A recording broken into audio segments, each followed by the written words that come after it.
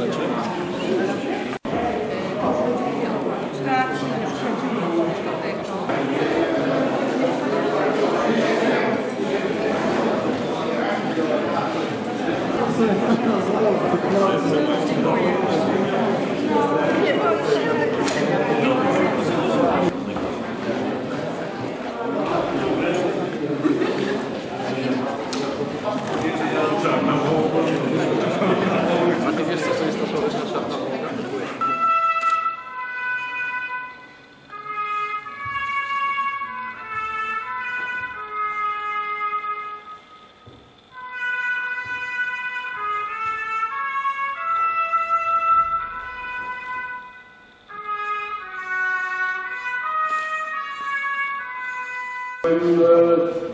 Przedstawić taki wniosek. Myślę, że Pan Prezydent e, podejmie decyzję, e, czy się zgadza, czy nie zgadza po wysłuchaniu wniosku, bo skoro nie wie, e, czego ta zmiana ma dotyczyć, to dlaczego ma z góry podejmować, chyba że, chyba, że podejmie wcześniej. Nie, no to proszę, proszę zgłosić, tylko ja przypominam, że odnośnie zmian porządku obrad musi wyrazić. Jak najbardziej, ja to ja to rozumiem, ale... Ja tylko przypominam, ale udzielam głosu oczywiście bardzo proszę o sformułowanie wniosku. Panie, Panie Prezydencie, Panie Przewodniczący, może w tej kolejności tym razem przy czwórce. E, Składam wniosek w imieniu Klubu Prawo i Sprawiedliwość o zdjęcie z porządku obrad e, punktu e, projektu e, zawartego w punkcie numer 2 e, porządku obrad. W naszym odczuciu tak ważna, tak ważny projekt uchwały. E, o tak dużej, o tak dużym ciężarze gatunkowym, o tak potencjalnie e, wysokich kosztach, e, czy też e, tak dużych pieniądzach, jakie za sobą ciągnie ten projekt, no nie mogą być podejmowane praktycznie w ciemno, bez dogłębnego przeanalizowania tej, tego problemu, tej transakcji e, w warunkach, kiedy nawet w trakcie komisji, która była zwołana godzinę temu tutaj przed rozpoczęciem naszych obrad, e, nie padły, e, już nie powiem wyczerpujące, no, ale nawet e, nie zahaczające o e, pełne dane e, wyjaśnienia. Pani Przewodnicząca, e, Panie i Panowie Radni, e, Szanowni Państwo. Niestety nie mogę zgodzić się na zdjęcie z porządku obrad e, tej uchwały. Mogę tylko Państwa przeprosić, że to w takim trybie tak szybko e, jest procedowany. E, A wynika to z tego, że powołaliśmy ja powołałem zespoły robocze, dosłownie cztery, które pracują w różnych obszarach współpracy z firmą Michelin i które to mają za zadanie przede wszystkim wypracowanie dalszych naszych wspólnych działań w zakresie rozwoju przedsiębiorczości, rozwoju firmy Michelin, a jednocześnie zabezpieczenia właściwych i stosownych interesów gminy Olsztyn, a więc mieszkańców Olsztyna. Decyzja odnośnie zobowiązania do przeniesienia własności nieruchomości, uchwała taka została podjęta w lipcu, dokładnie 15 lipca 2004 roku. Wówczas na wniosek e, prezydenta miasta uchwała została przygotowana radni ówczesnej kadencji zarówno opiniowali działania miasta, prezydenta miasta i wszystkie sprawy związane z przygotowaniem na wniosek firmy Michelin nowego terenu do rozwoju firmy Michelin, dla rozwoju firmy Michelin związanych z nowymi terenami pozyskanymi zarówno od Agencji Nieruchomości Rolnej, e, oczywiście od Skarbu Państwa, przy ulicy Towarowej, przy ulicy Sprzętowej. Wtedy też, biorąc pod uwagę stosowne argumenty firmy Michelin, a więc chęć zainwestowania setek milionów złotych, prawie miliarda złotych w pewnej perspektywie czasowej, niedługiej, stworzenie nowych 500 miejsc pracy i przede wszystkim uwzględnienie, nad czym radni dyskutowali i uwzględniali w swoich decyzjach to, że żeby aktywnie, skutecznie walczyć z bezrobociem, należy stwarzać odpowiednie warunki dla rozwoju tej przedsiębiorczości osiągnąć. Zostały wpisane daty graniczne roku 2007, do których to dat te wskaźniki, jak i zadania przewidziane wówczas w negocjowanej umowie zostały zapisane. Za 2104. Natomiast opcja, e, opcja dotycząca e, kwoty 10 groszy była określona na 10 lat. A więc dzierżawa do roku 2104, a więc na 100 lat, przy stawce na najbliższe 10 lat od roku 2005, gdy umowa była podpisana. Gdy umowa była podpisana, dlaczego 90? 2005 do 2104. 100 lat. 100 lat. A może 99, dobrze, przepraszam, 99, tak. E, gdy umowa była podpisana, z opcją, tak jak powiedziałem, 10-letniej dzierżawy. Jednocześnie gmina się zobowiązała, że e, po 10 latach firma Michelin będzie miała możliwość, jeśli zechce, a zostanie podjęta stosowna uchwała przed upływem tych 10 lat i Michelin zostanie o tym powiadomiony, to Michelin będzie przysługiwała, przysługiwało prawo nabycia bezprzetargowego tej nieruchomości w oparciu o zasady ustawy o gospodarce nieruchomościami, a więc cena e, określona przez rzeczoznawcę z jednoczesnym zaliczeniem poniesionych nakładów na zrealizowane uzbrojenie i budynki e, w poczet rozliczenia, e, w poczet rozliczenia transakcji. Po pierwsze jestem zdumiony faktem, że porządek dzienny, który dzisiaj jest przedstawiony i te punkty, które są bardzo ważne, w tak nagły sposób, bez możliwości skonsultowania, pogłębienia wiedzy na ten temat, trzeba głosować. Ja powiem uczciwie, ja nie jestem przygotowany na głosowanie w tak ważnych sprawach, w tak nagłym tempie. To nie są sprawy, które wymagają takiego właśnie sposobu załatwienia. Absolutnie. To jest po pierwsze. Po drugie, co do czego? Nie znam opinii Michelin w tej sprawie. Doskonale wiemy, że jeśli robimy operat szacunkowy, to kupujący ma prawo przedstawić swój operat szacunkowy i mogą nastąpić negocjacje. Jeśli Ja mogę tylko przeprosić kolego radny. Ja rozumiem, że na zdjęcie tego punktu porządku obrad pan prezydent się nie zgodził, także on tak będzie procedowany. Także ja bardzo proszę o zabranie tego głosu. Za sekundkę otworzę już przejdę do tego i proszę zabrać ja tylko w sprawie całego porządku obrad. Mój klub nie jest przygotowany dzisiaj do głosowania w tej sprawie. Dziękuję bardzo. Skoro nie chce się Pan przychylić do, do naszej prośby, prośby klubu, to może zaproponuję losowe rozwiązanie. Może damy sobie szansę, czyli zrobimy przerwę. Yy, bo mamy szereg wątpliwości i szereg pytań, które zadawaliśmy na komisji, która została zwołana tuż przed y, sesją Rady Miasta. I no niestety pan y, dyrektor Machnik nie odpowiedział. Nie odpowiedział nam na te pytania. Ja nie chcę teraz, bo w tym momencie, jeśli dojdzie do dyskusji, to te pytania zadam panu, bo pan dyrektor nie potrafi odpowiedzieć. Więc ja proszę losowym rozwiązaniem pan tutaj nie wycofuje się, tylko zrobimy przerwę w tej sesji i przeprowadzimy dyskusję na temat wyprzedaży majątku gminy 82 hektarów bezpowrotnie, które mamy wyzbyć się y, z majątku gminy, no to, to, to jest sytuacja no, niecodzienna, musi Pan przyznać. To, to, to nie jest tak jak kupienie paczki, nie wiem, ciastek w sklepie.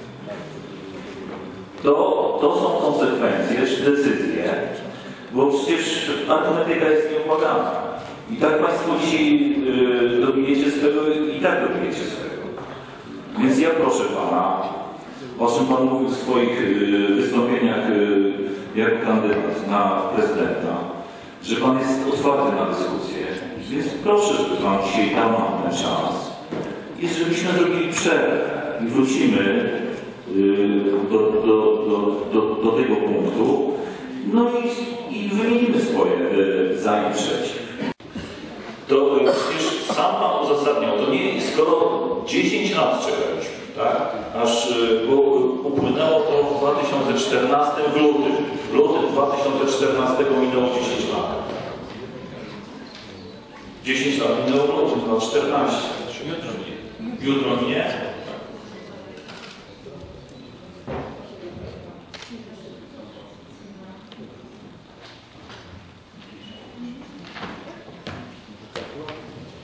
Czyli konkretny wniosek kolego radny jest taki, że W takim razie- wnosi radny Panie prezydencie, no to w takim razie y, ten termin mija.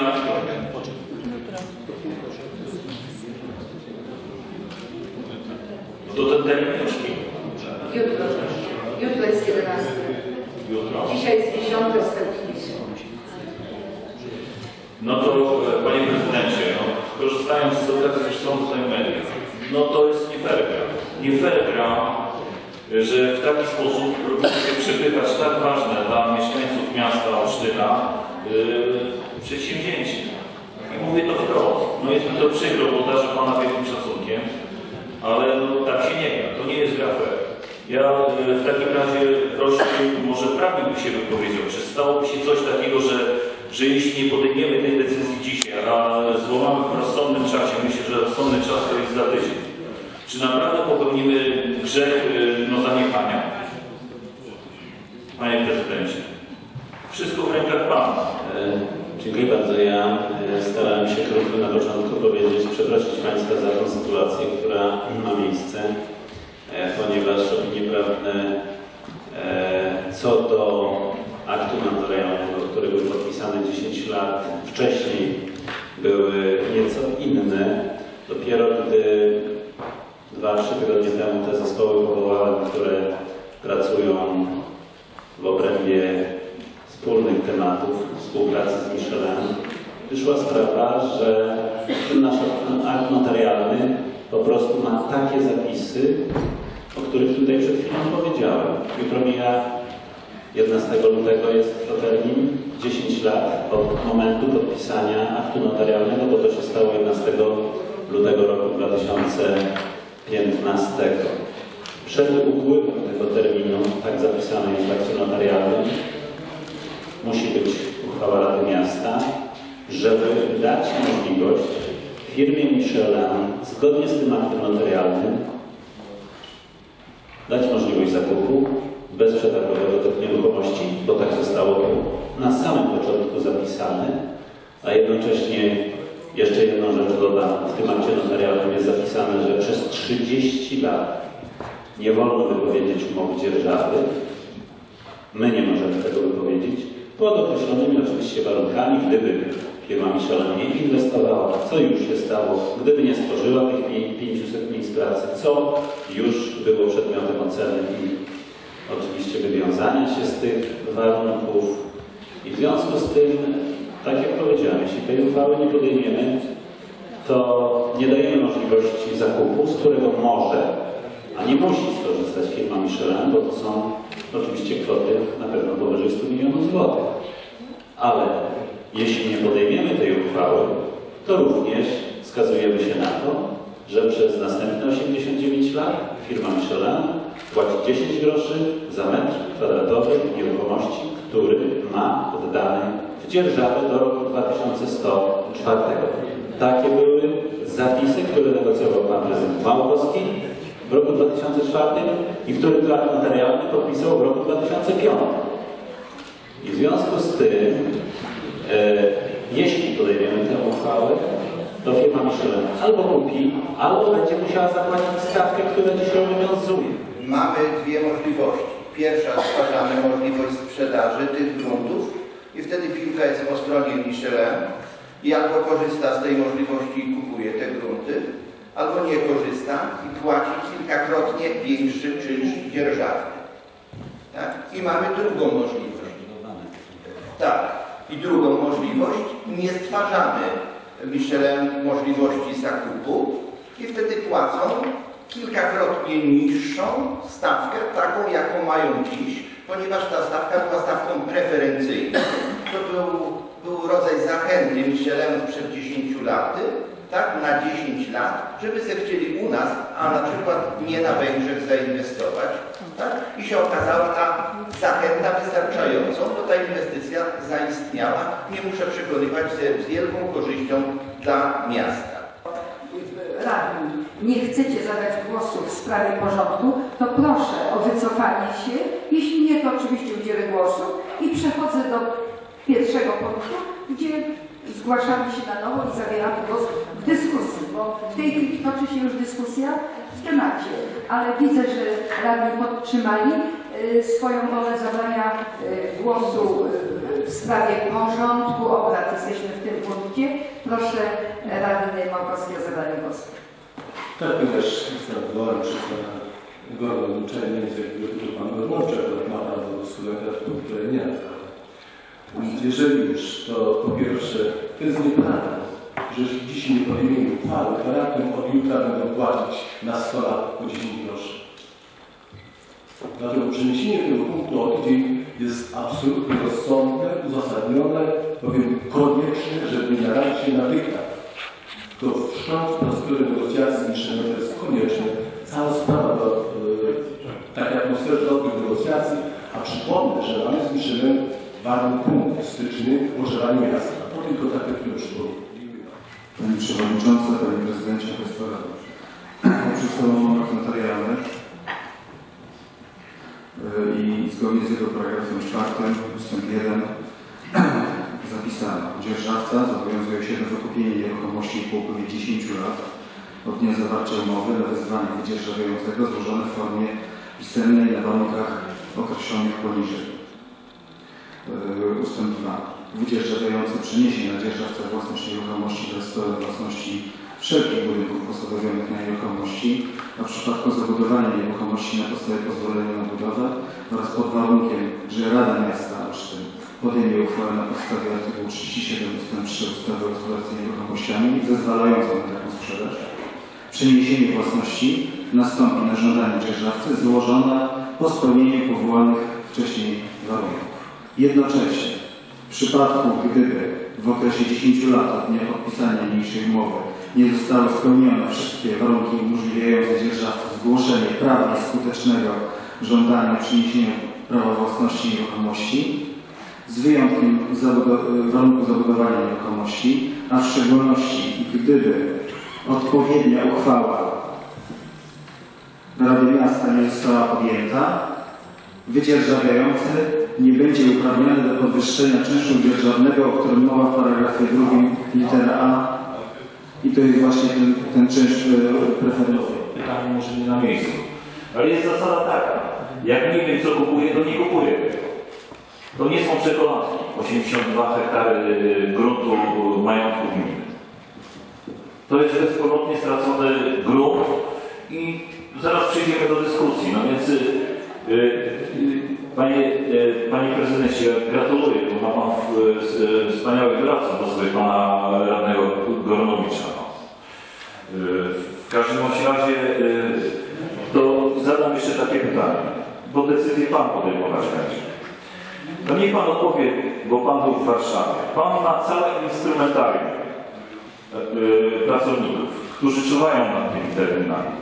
I, I ci pracownicy informują pana w piątek wieczorem czy w piątek w ciągu dnia, że mija termin i zapada decyzja, że w tak ważnej sprawie dla mieszkańców Olsztyna y, zwołuje pan sesję Rady we wtorek, kompletnie y, nie dając czasu y, radnym i, y, i mieszkańcom Olsztyna, żeby sprawę nagłośnić, w sensie takim, co się dzieje z ich majątkiem, Przecież my wszyscy płacimy tutaj podatki. Pan mając takie instrumentarium, chce nam Pan powiedzieć, że y, y, Pana posłani dzwonią do Pana w piątek i pa, Panie Prezydencie trzeba zwołać sesję? No nie uwierzę w to. Do przyjęcia, Panie Prezydencie. Naprawdę. Karygodne. Dziękuję. E, Panie Przewodniczący, przepraszam bardzo. Panie, po pierwsze, nic nie oddaję za nieruchomości, tylko za pieniądze, które będą ewentualnie, jeśli firma zdecyduje się na zakup określony, przez rzeczoznawcę majątkowego, Pan doskonale wie o tym, w oparciu o ustawę gospodarczą nieruchomościami przytoczoną w tym akcie notarialnym.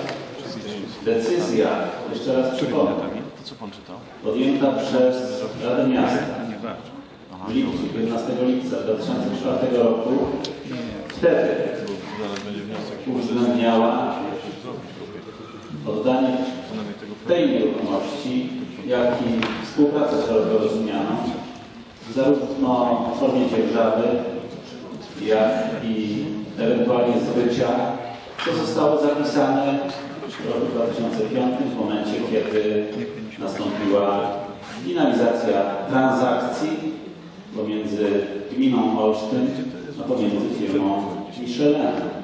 Prezydent miasta zobowiązany jest do, jako organ wykonawczy, realizacji wszystkich uchwał, które są aktualne, jak i innych postanowień, decyzji, które zostały przyjęte w tym akcie notarialnym, po prostu posiada. A więc my posiadamy, bo to zostało wówczas również podjęte w sposób kolegialny, to zostało przedyskutowane, to została ta informacja przekazana mieszkańcom, wtedy jak i teraz nie było żadnej takiej sytuacji, która by mówiła o tym, że coś jest załatwiane gdzieś tam pod stołem. Nie. Była pełna transparentność, pamiętam doskonale ten okres czasu. I mieszkańcy naszego miasta byli poinformowani o tych działaniach i skutkach następne następne lata. Te skutki po prostu są tutaj, jak i poszczególne przewidziane ze strony gminy, czy też firmy Michelin, działania, z których jedna i druga strona zawarły taki akt, powinny się wywiązać. Ponieważ Pan e, radca przeczytał dosyć dokładny fragment, który e, obrazuje całą sytuację, żeby, jeżeli to jest możliwe, przygotować każdemu radnemu ksero z tego właśnie fragmentu, żeby w ciągu kwadransa przerwy każdy radny, każdy klub mógł się z tym zapoznać, bo będziemy się nad tym zastanawiali. Sądzę, że kwadrans wystarczy każdemu, żeby przeczytać ten fragment mówiący dosyć dokładnie o sposobie zapisu, jak wygląda wywiązanie się z umowy. E, Panie Przewodniczący, Szanowni Państwo, otrzymuję e, zaproponowany przeze mnie porządek obrad w całości wszystkich przygotowanych projektów uchwał, które e, przekazałem do Pani Przewodniczącej. Dziękuję bardzo serdecznie. Przechodzimy w związku z tym do następnego porządku obrad dzisiejszej sesji, mianowicie do projektu uchwały Rady Miasta w sprawie sprzedaży w trybie bezprzetargowym nieruchomości zabudowanej wraz ze sprzedażą budynków z zaliczeniem na poczet ceny sprzedaży nakładów poniesionych na ich wybudowanie numer roboczy 28 przez 15.